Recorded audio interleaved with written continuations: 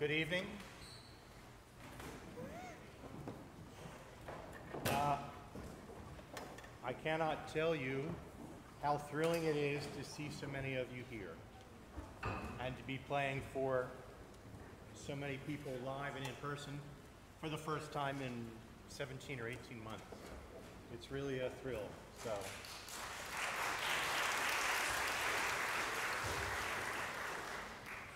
I felt I should talk at this point because, as you can see, it would be awkward if you were just watching them walk up there.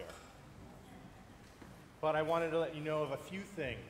First off, because we didn't know how many of you would want to join us, and because we wanted to be frugal in our spending, you might see that in your programs you have a QR code. Now, one of the younger people in the choir was insulting about those of us who are more mature more experienced and more wise than him and said, What will they do if they don't have a phone? I said, Well, they'll be able to take it home and scan it. Plus, the fact is that I feel any of us who have had to eat out in the last year have had to learn to use these whether we like them or not. So if you follow that QR code, you will be able to read pretty good notes about all the music you heard tonight. Um, piece you just heard was very much chosen, uh, as you'll see in the notes that Grace provides. It was all about music, about new beginnings. And so when I contacted her in May and June, and things seemed pretty optimistic, it seemed like the perfect way for us to all be together. The last month has had me thinking I shouldn't include those program notes because we didn't seem to be at a new beginning. As we rehearsed it this week, though, I kept trying, and as I studied it, I kept trying to understand the ending. You know, the ending is a question mark. It's not a period. It's not an exclamation point. And perhaps that's the new beginning we're at right now. It's very gracious of you to come to a concert and wear a mask. Um, vaccinated or not, it's very good that we're looking out for each other this way. And perhaps that's the new beginning we're at, even though it might not be the one we thought we would be at in June. Um, unfortunately, our editor, who um, I guess didn't like to work for us anymore, didn't really edit the program well. And so I just want you to understand under Strum, uh, thankfully I concentrated all of my mistakes just with this one piece. So Nicholas, just heard play so beautifully on violin two, will not be strumming. It'll be Emily McDonald. Also, Frankie Lynn does not exist, but Franklin does. And Leah Marie is missing an S in her name.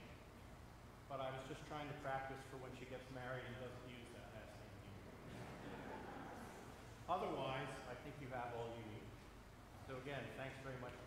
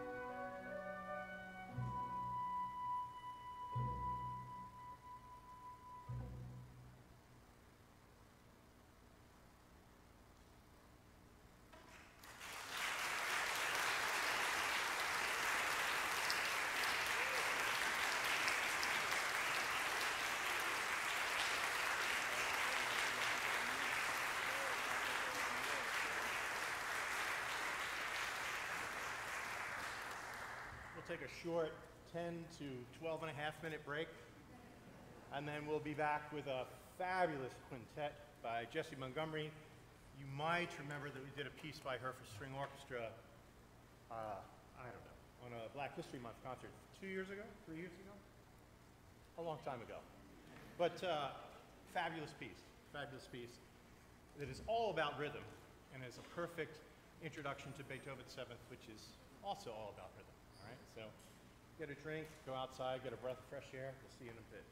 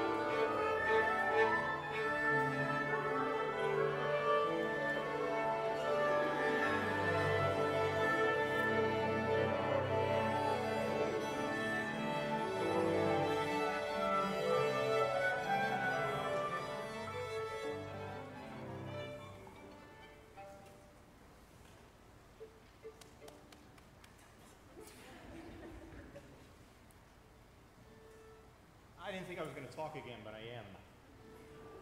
Um, I wanted to say two big thank yous. First, I really want to thank Immanuel UCC, who, for the last, we started making monthly video concerts uh, a year ago at this time. And through, only through their generosity of allowing us to use their room, their heat, their cooling, their system for recording, could we do the concerts that we did once a month for the past year. So if you wouldn't mind, thank you for the.